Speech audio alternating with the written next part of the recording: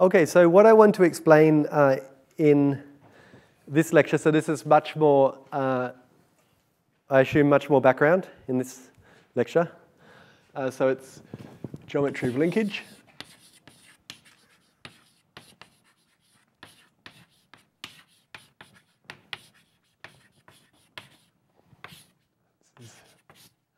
with uh, Simon Riche.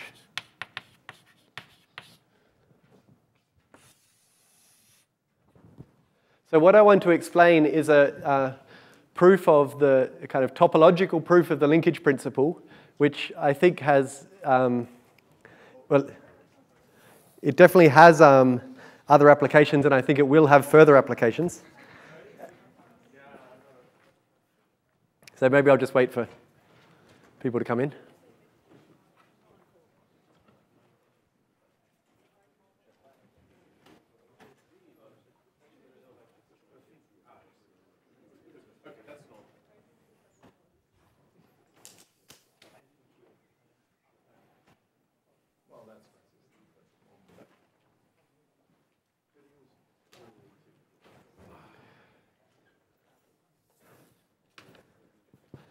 Okay, so yeah, so and basically, so I wanted to talk about a result that's that had its genesis in trying to write these notes for the CDM. Um, so I'm very grateful for being made to write these notes. Um, so I think that one of the most significant things that happened in the last uh, 50 years in representation theory is Beilinson-Bernstein localization.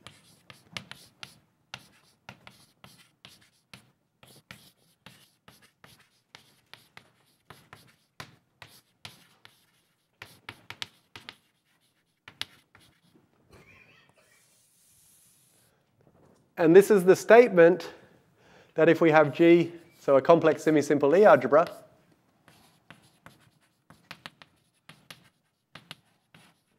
then first from the perspective of compact Lie groups, we're interested in the finite dimensional representations of G, but then following the work of Harish-Chandra, we're also interested in the infinite dimensional representations of G, and then we get very, very interesting questions um, concerning characters, etc. Characters and categories and and what Beilinson-Bernstein localization tells us is if we consider um, D modules on the flag variety, so this is um, systems of linear partial differential equations on the flag variety, and we take global sections, this gives us an equivalence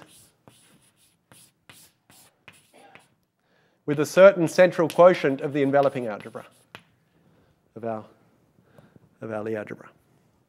Uh, and why is this kind of totally revolutionary? Uh, if, you, if, if you're an algebraist and you start with, for example, the Lie algebra SL2, you might, as we teach our students, you classify it simple finite dimensional modules. And then you might, for example, try to understand its weight modules or something like that. And you get these nice answers. And so then you might think, oh, okay, I'll classify all simple modules. And this uh, turns out to be rather difficult, but you don't know if you're just being stupid or not. But if you look on the other side of this, um, here's a construction of a simple module for um, D modules on P1. I can take P1, I can delete 77 points, put some crazy irreducible representation of the free group on the complement, and then take some take an IC extension of this local system, and then here I'll get an irreducible um, a D module, which will give me an irreducible representation of SL2. And so somehow the geometry of P1 is fundamentally tied to the representation theory of SL2, and so we can suddenly decide what are reasonable questions and what are not. So it, I think it totally changed the way that we consider modules over Lie algebra, this, this theorem. I want to contrast this with um, the geometric Satake equivalence.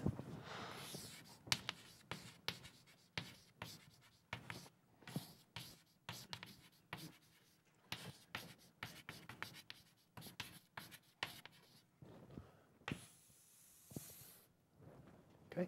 So G over K is our um, reductive group from before.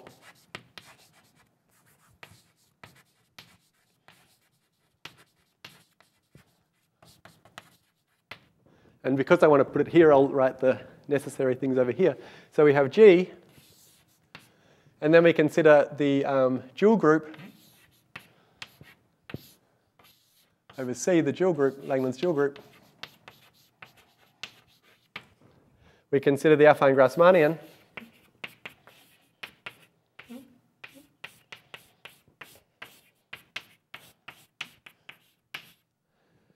This is um, this is kind of, so this is an ind-scheme.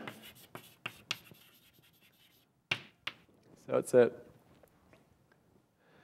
um, limit of projective algebraic varieties under closed embeddings, and it's a kind of algebraic model for the, for the loop space of G check. So an example would be if G check is SL2, then the affine Grassmannian is, has a cell decomposition with one affine space of every dimension. And the topology is such that if I close up, for example, C3, I get this subarray, I get a, um, I get this set, which is naturally a finite dimensional um, finite dimensional projective variety.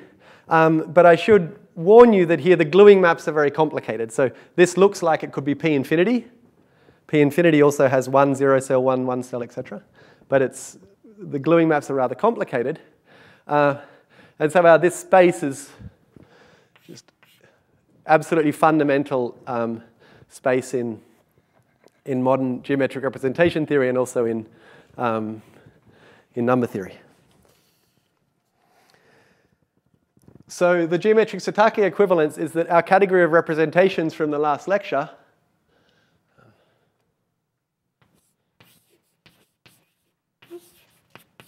So this is a tensor category. This is equivalent to uh,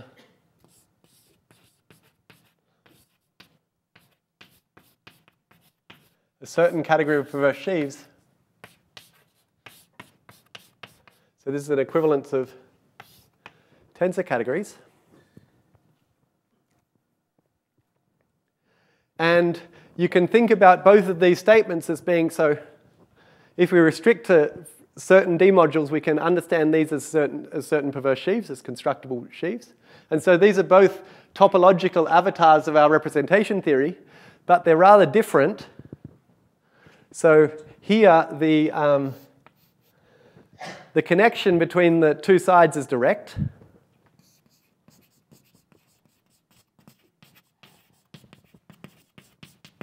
The basic calculation is that if I take the global sections of differential operators here, I get this, this algebra. And here, um, the connection is highly indirect.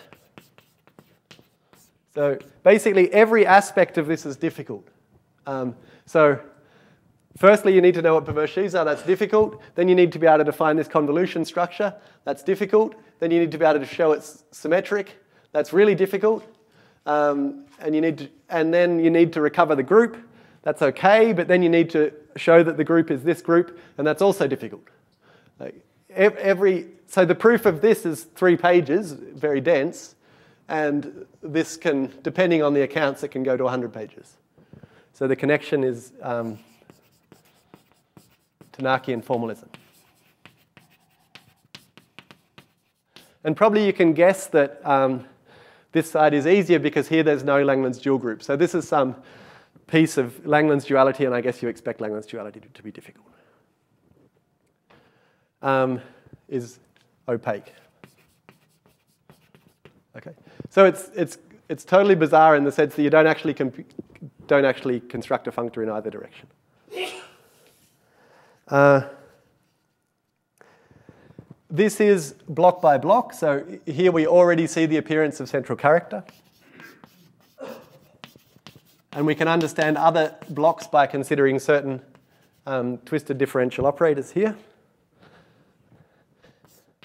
And here there's um, the, so there's, up until now, there's no, there's no proof. So what I, what I want to explain today is a proof of the linkage principle, uh, the block decomposition of this category. Uh, but, and so up until now, that has not been known. Um,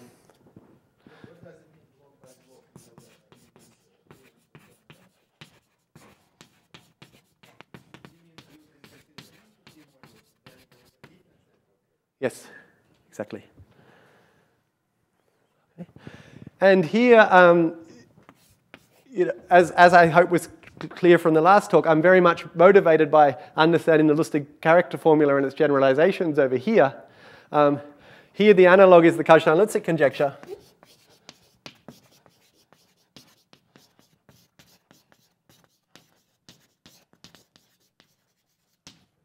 And here it's basically kind of, it, this equivalence tells you what you need to do. It's then not so easy to do it, but at least you know what to do. Whereas over here, um, I don't think it's clear at all, kind of. I think that it was an early dream when people proved this to use this statement to attack the Lusztig conjecture, but uh, up until now, there's been no way of doing so.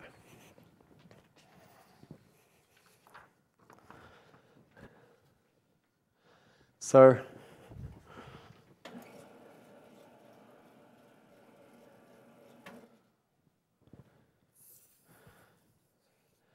So now I want to change gears entirely and discuss equivariant localization.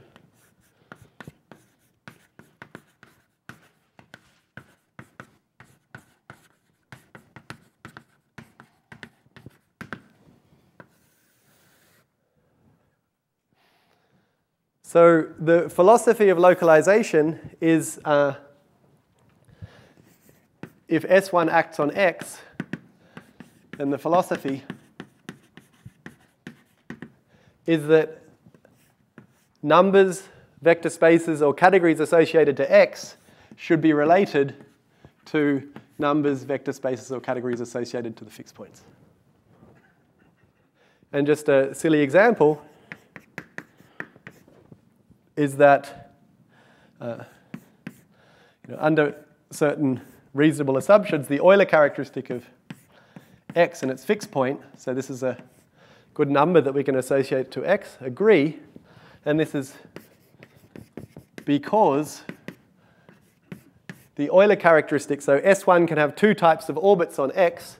Either the orbit is a fixed point or it's um, a circle. And a circle has non-trivial Euler characteristic. It has zero Euler characteristic.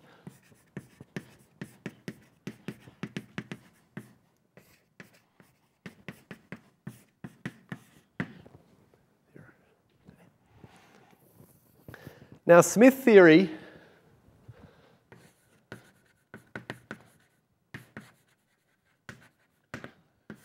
is the philosophy that uh, S1 should be replaced by mu p, or a, cyclic group of order p, um, when taking mod p coefficients.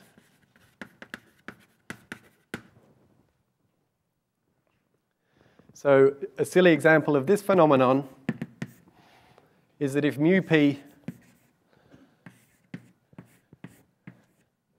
acts on a manifold or a CW complex some, with some finiteness conditions, then the Euler characteristic of x is the same thing as the Euler characteristic of the fixed points. Now mod p, and this is because, so now mu p can only have two different types of orbits. It can either be a, a fixed point or a free orbit. So If the orbit is non-trivial, then it's necessarily a free orbit is 0 mod p. Okay. But notice that here we get a slightly weaker statement than over here, namely we have to consider this mod p.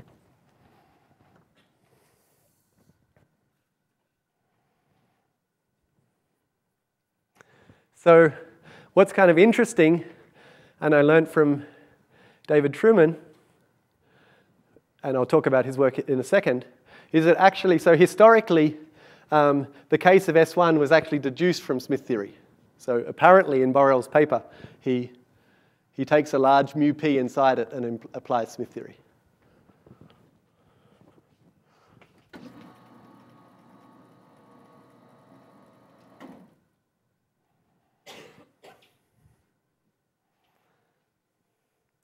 So now we come to this fundamental definition of Treumann.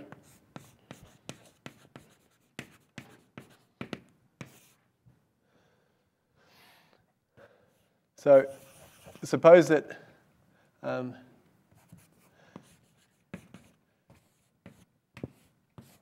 mu p acts on x, then we define the Smith category of the fixed points So we also assume that the characteristic of our coefficients is p. So the Smith category of the fixed points is the equivariant complexes on mu p. So here, generally it's a little bit complicated to say what an equivariant sheaf is, but if we have a finite group and the finite group is acting trivially, then this is just equivalent to sheaves of mu p modules.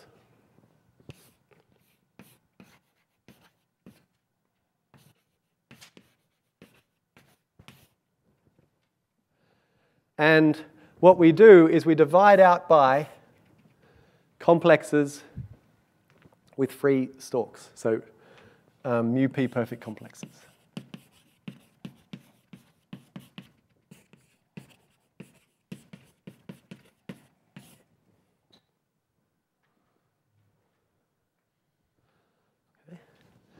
And then the fundamental lemma that gets everything going. So this is a kind of a little bit weird thing to, if you're not used to it. So for example, this is two periodic.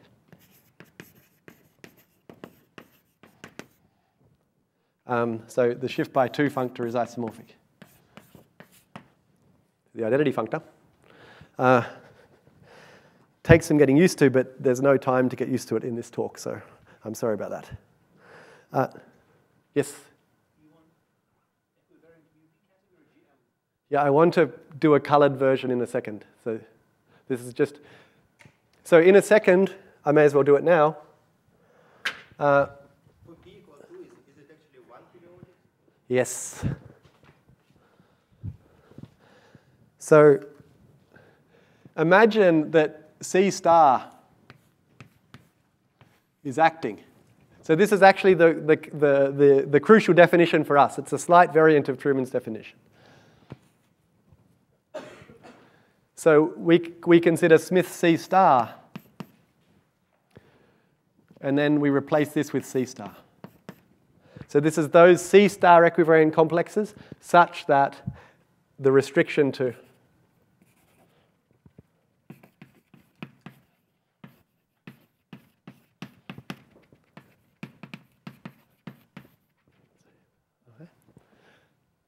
a technical detail, um, extremely important in practice, but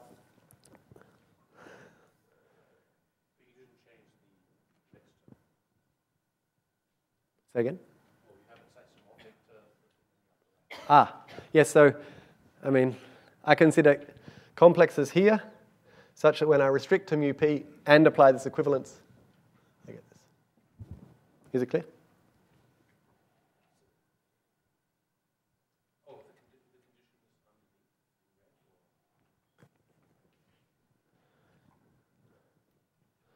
So this category is those f such that f restricted to mu.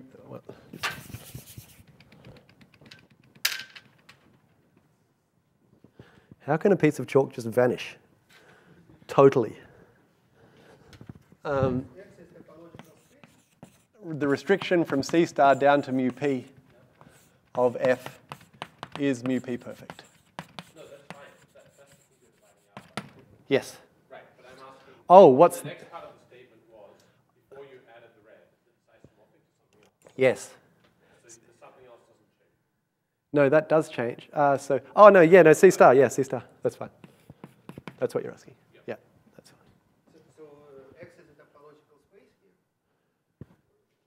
a. X is a well. In a second, it'll be an algebraic variety with an algebraic action of C star, um, but at the moment, it can be let's say, a pseudo manifold or something, or just a manifold with an action of mu p is fine. But then C star can be replaced with the circle, right? Yes. Yeah. Uh, and I think that this is a really, uh, it takes some getting used to, but it's a really, really uh, interesting and nice category. Um, and the lemma that gets everything going, so this is Treumann, is that if we denote the inclusion of the fixed points, and if f is a dB, is a mu p equivariant complex, then we have a forgetting the support map. So we have two ways of restricting to the fixed points, which are usually different.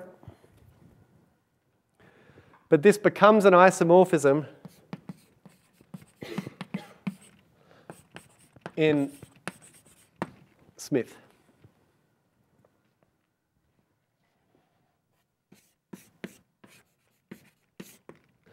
And similarly for the equivariant case.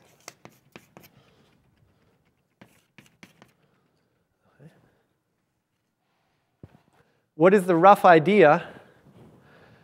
It's essentially the same reason as over here that the complement consists of free mu p orbits. So the, the cone of this map is, is calculating something like the cohomology of the complement. This has a free mu p action, so I can represent it by a perfect complex. And this is a, should think about this as being a kind of miraculous self-dual way of restricting to fixed points. And then uh, one of Treumann's principles is that this functor commutes with anything you want it to commute with. And the principle sounds crazy, but then you want it to commute with something, and then you look at Treumann's paper, and it just does, and so then you're happy. And then at some point, you start to believe this principle.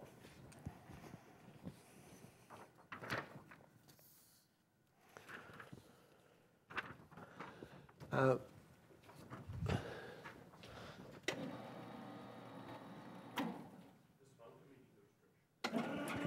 yes. So maybe if you're intrigued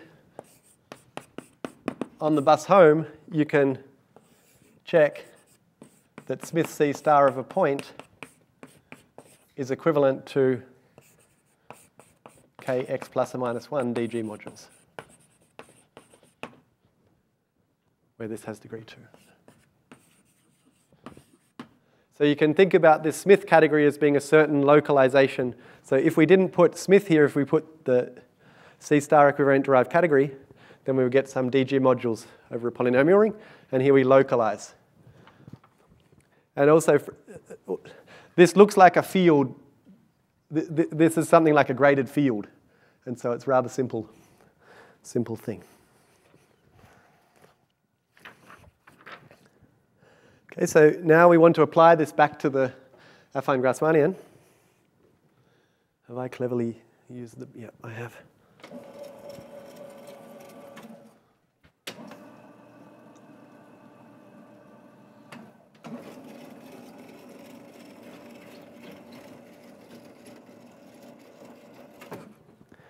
So remember our affine Grassmannian from earlier. So the key observation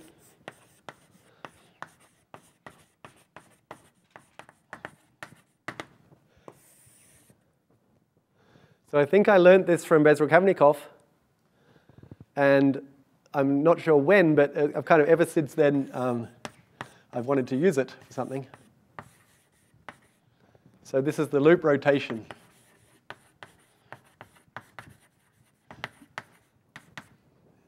So when, when, I was, when I wrote this as a quotient like this, then this sends lambda t to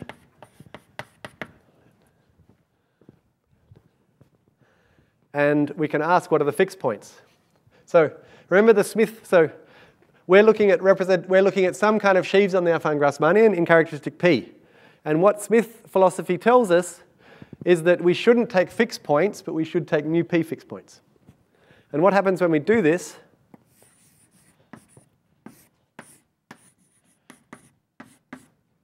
So this is a disjoint union over, so I'll use some notation from the last talk.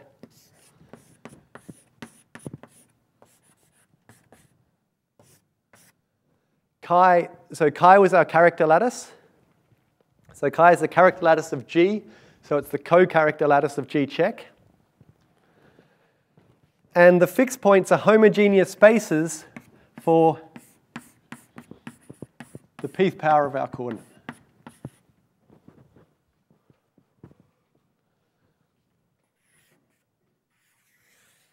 And this is, um, I'm going to denote this Grur gamma. So I get finitely many, um, finitely many connected components in this fixed point locus. And if we think about something like, I'm not sure if this is too small to see. So here would be an SP4 example. So they're given by weights inside this region. And for a, for a weight with no, for a weight that's on the interior of this region, I get, get a copy of the affine flag variety. And for weights on the edges, I get affine Grassmannians. So I get some homogeneous spaces that interpolate between the affine flag variety and the affine Grassmannian. So I'll write that down.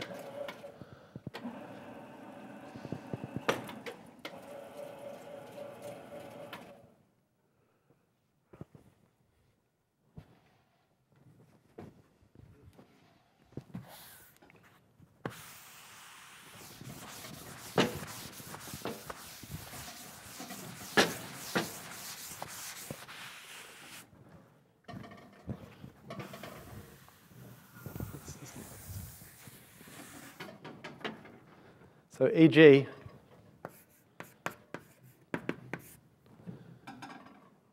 Grur 0 is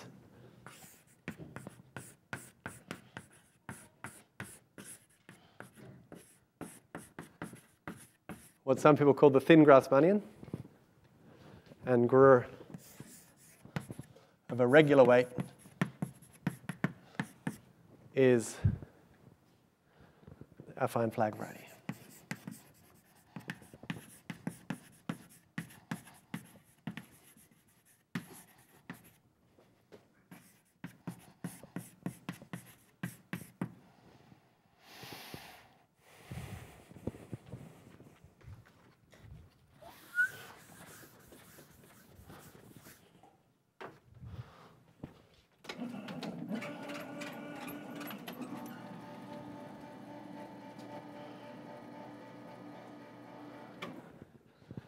So this looks remarkably similar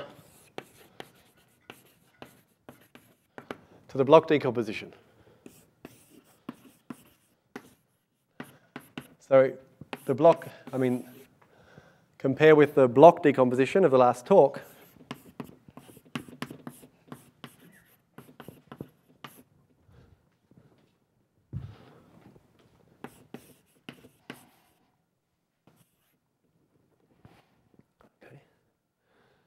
So can we play spot the difference?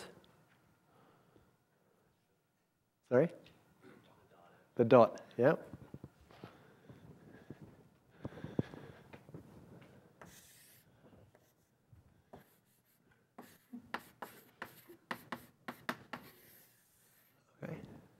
And that absence of the dot has worried me for about five years.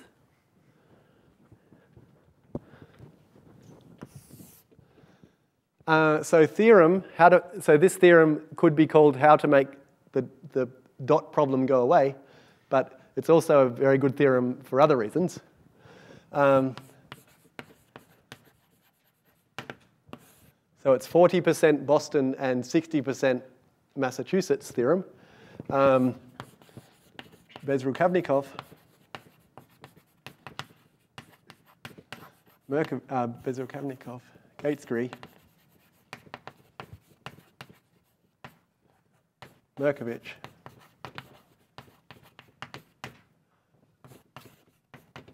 Riche, Rider.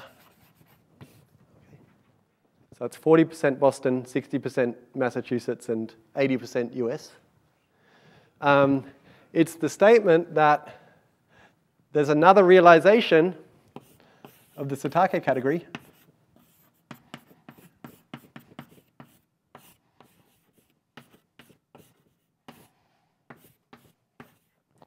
Is equivalent to so-called Iwahori-Whittaker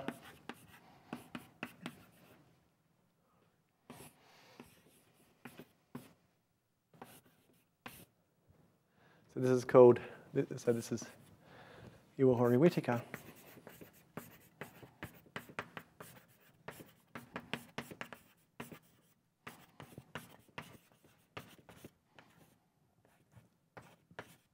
sheaves, and how here we need affine Grassmannian to be defined over. So we take our group. So I won't go into the um, details of the definition of this category, um, but it needs in an essential way the Artin Schreier sheaf. So we should be in characteristic P, and we need to replace G check with a version of G check over um, FL bar for L not equal to P.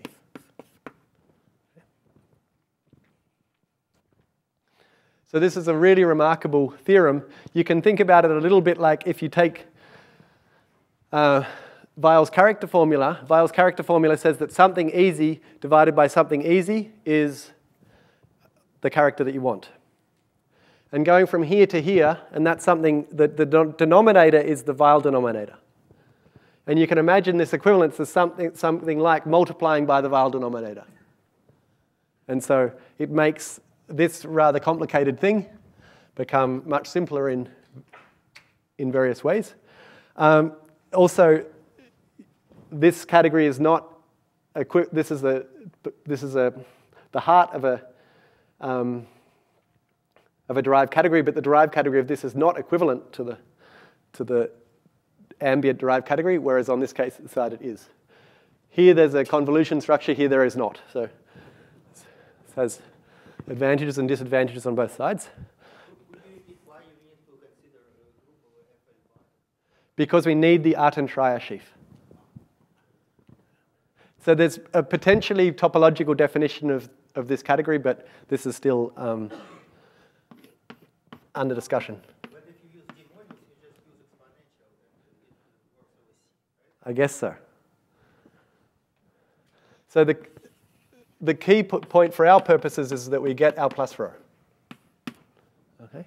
So we have a hope that the, uh, this decomposition of fixed points, if we apply it to the um, Satake on this side, in this realization, then the linkage principle pops out.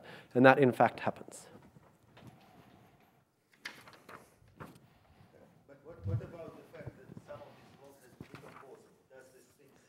Yes. It's really remarkable. You can deduce the block decomposition, um, like the actual block, block decomposition immediately from. So, uh, so you're talking about the right-hand side. Uh, the next result uh, gives the whole block decomposition. At the moment, the block decomposition is totally opaque. At, at the moment, the block decomposition on the right-hand side is totally opaque. But in the next step, it'll become manifest.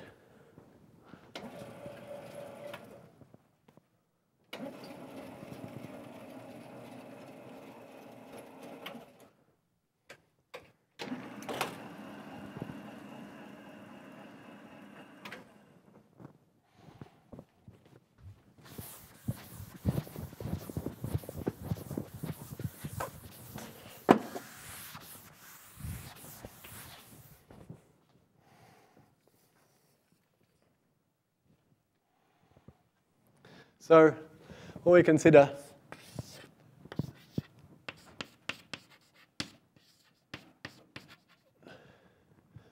of the affine Grassmannian.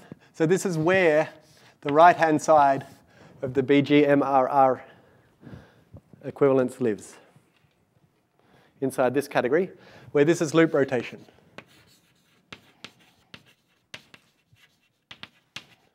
And there's a key technical point for experts is that this loop rotation is the only GM that um, is compatible with this Iwahori-Whittaker condition. So if I want to do this, my hand is kind of forced in terms of what I can put here. And so we have this Smith functor to the Smith category for loop rotation on the affine Grassmannian, where we take the fixed points under loop rotation. And as we saw down here, this has a structure looking like the block decomposition. And then this receives, this is defined as a quotient of the category, sorry, this should be Iwahori-Whittaker.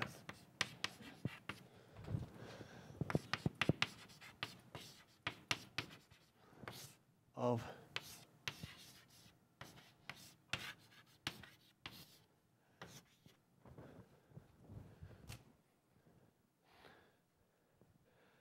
And so inside here, we have um, perv, and inside here we have tilt. So the full subcategory of tilting perverse sheaves. And inside here, we have the full subcategory of even parity sheaves. So these are basically, this means stalks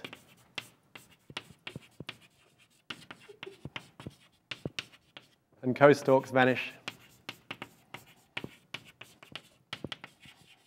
outside even degree, vanish in odd degree.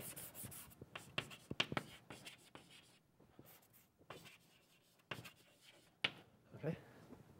And parity sheaves were in the title of these talks, and this is the first time they've appeared. Um, and similarly, you have a category of parity sheaves.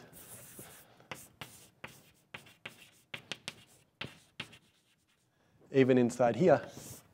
And you can either define it as the image of this subcategory, or you can give an intrinsic definition inside here. And the theorem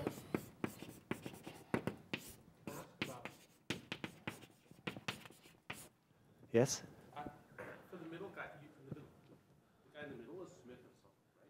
Yes? But when you defined Smith before, it was the quotient of like some derived category by some like mu perfect complexes. Mm-hmm. But here you've already. Yes? No, but I did that before also. Like, I, like all I need to define this category is that mu p acts trivially. And before when I defined it, I took a variety with the GM action, and then I took mu, mu p fixed points. But that was just a silly way of saying I want mu p to act trivially.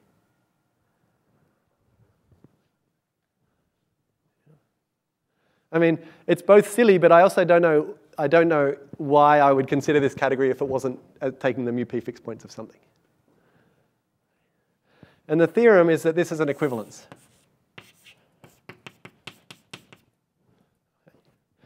And it seems to be quite remarkable. Um, it, it, implies um, a number of things that I've wanted to understand for some time. Uh, so let me just give, so I should finish 25 past, is that right? Or Okay, I'll definitely finish by half past, yeah. Uh, like a picture somehow is that completely generally, we have this category and this category, and this Smith category is a localization of both of them. So you can think about this a little bit like the localization theorem in equivariant cohomology. So you have two categories and you have some thing that when you localize a whole lot of parameters, they become the same. Okay? So it's a very general, general fact that this thing in the middle is kind of a localization of both these things. But what's remarkable in this case is that um, that we actually get, get an equivalence of additive categories.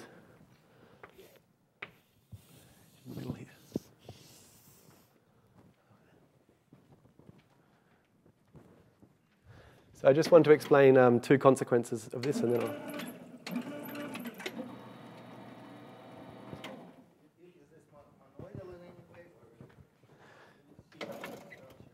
so it's a really good question. Um, um, oh. I would love, yeah, anyway, I'll give up. Um,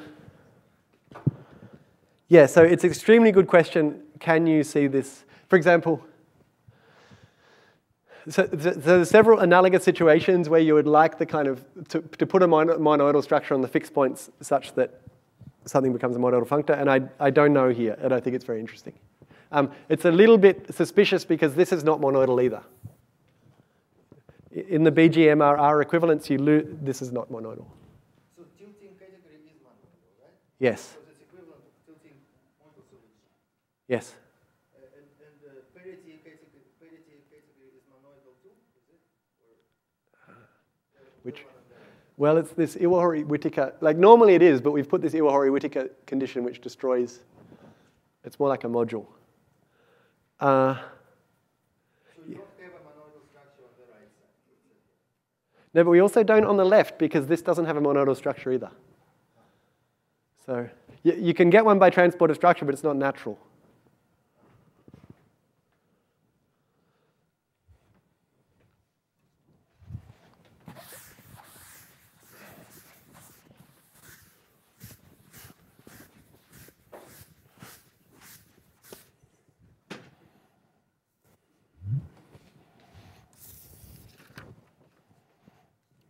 So um, consequences.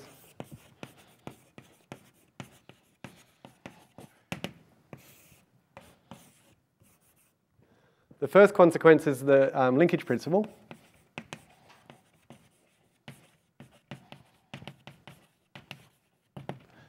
So why is that true? It's enough to show that a tilting module, like the subquotients of a tilting module satisfy the linkage principle. But when I go over to this side, I have a whole lot of components.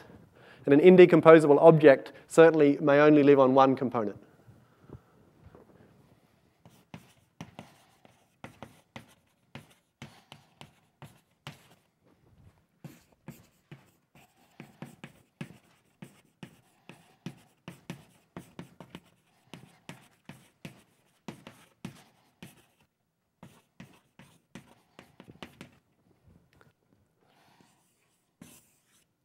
How do you see the infinitely many blocks? So how, see, how do you see that?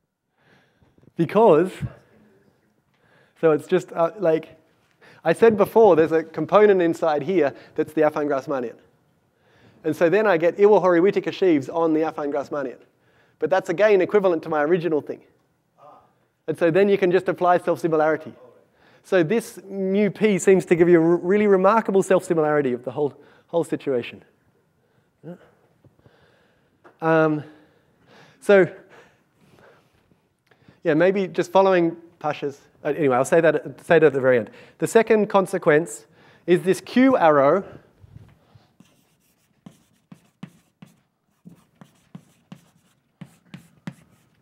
implies um, a character formula.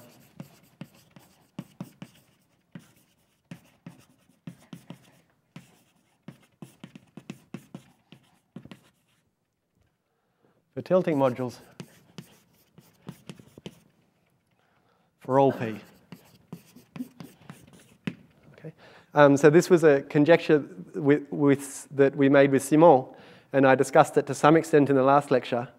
Um, but I somehow never in my wildest dreams did I expect just to have a proof for all p without any assumptions. We seem to, it, on the algebraic side, we always seem to have to make some assumptions, like p is not 2 or 3 or something like that, but it just seems to work totally uniformly.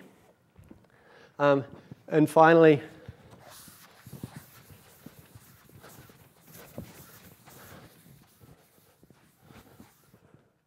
a kind of philosophy.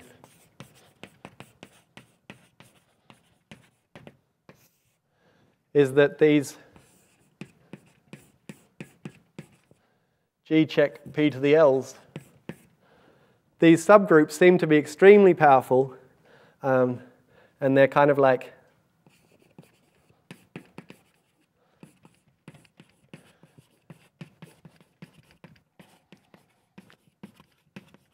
So in a, in a compact Lie group, I can take an element of finite order and then look at its centralizer. And sometimes I get very interesting subgroups. Okay, a simple example of this is taking an element of, an interesting element of order 2 inside SP4, and then you get SL2 times SL2. And these subgroups behave a little bit like Levis, but are not. So this is Borel de Siebenthal.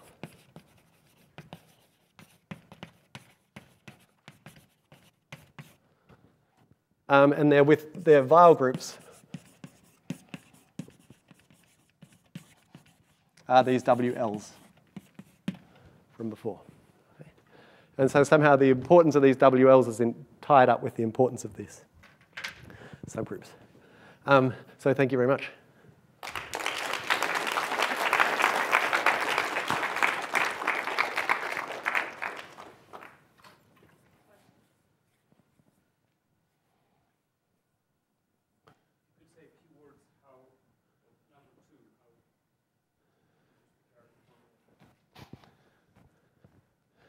So the basically, uh, so the conjecture with Simon was saying that the indecomposable parity sheaves here um, determine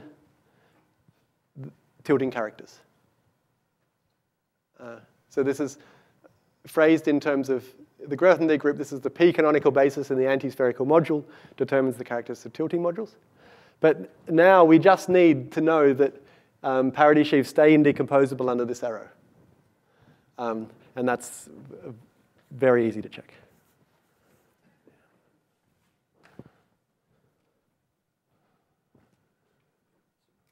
So what were the affine values from powers of V4?